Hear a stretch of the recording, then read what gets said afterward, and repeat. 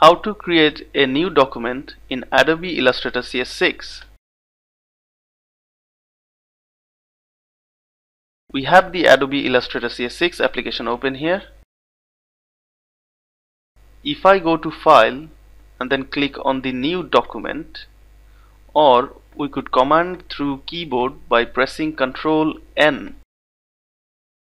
This will give us a dialog box. At first you will see in the dialog box there's a field called name where you want to type the name of the document you want to save it as. I'm typing Illustrator Design here to name it as. Now you have the field called Profile. If you click on here, you will see there are custom, print, web devices, video and film, basic RGB and flash builder. This is where basically you choose whether in which media your document is going to be used for. We are selecting the print. Here is number of artboard. Here the number is 1 but if you need more artboard then you can increase the amount of artboard. Okay. then we need to choose the paper size here. If you click on here, there are options of letter, legal, tabloid, A4, A3, B5 and B4 where we'll be selecting the A4 standard size for our document. Once you select the size, you'll have the width option. In generally, the unit points is used by default. However, there are other units too to choose from, such as picas, inches, millimeters, centimeters and pixels. Mostly pixels and inches are widely used in Illustrator. We are using the inches here. Now again, if you choose to select a different paper size, that will give you the measurement of that size. Then comes the orientation.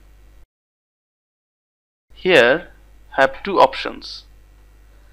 Left option is used for vertical artboard and right is used for horizontal artboard. We choose here the left option. OK. Here is bleed. It has four options top, bottom, left, right. By default the amount would be 0 for all. You can change it as you like to leave the space around your file.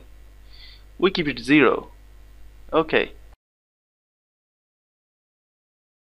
Then in the advanced options we have here color mode raster effect preview mode. Okay? The color mode. Usually RGB color are used for the website use we are going to use CMYK as our document is going to be used for the print media. Raster effect. 300 ppi which is the pixel per inch for high 150 ppi for medium 72 ppi for screen. We are going to use 300 ppi for high so we have all the required information filled up here and we press OK Finally, we have the new document created that we wanted to and we can start our work or design on it. Now on this new file, we can start working on any design. Let's draw a flower. Now click here to go to pen tool. The pen tool is selected. Let's draw a petal first. Okay, so it's drawn. Now go to shape layer. Okay, create a circle or ellipse on your artboard. Now select the petal which we drew by pen tool. We will copy the petal to draw a flower. Select the petal and choose rotate tool. Now drag the anchor point onto middle of the circle. Press and hold the Alt key and rotate the petal as you want. Now by pressing Ctrl D, copy the petal. You see now the flower is drawn. Now to save this file to your computer, press Shift Ctrl S or go to File menu, select Save As. Now from here, choose the location of your computer where you want to save it. I'm saving it to my desktop. Change the file name as you want to name it. Let's name it as Illustrator Design and choose the format. There are plenty of formats here. We will go with the Adobe Illustrator IA format. Click on Save. Now you can see there is another pop-up asking you in which version you want to save this Illustrator file as. You can choose different versions from here. I'm going to select Illustrator CS6. Click OK. Okay, so if you want to close your Illustrator file, then click cross here and your file is closed. Reopen. If you want to reopen your previous file, go to the location where your previous file was located.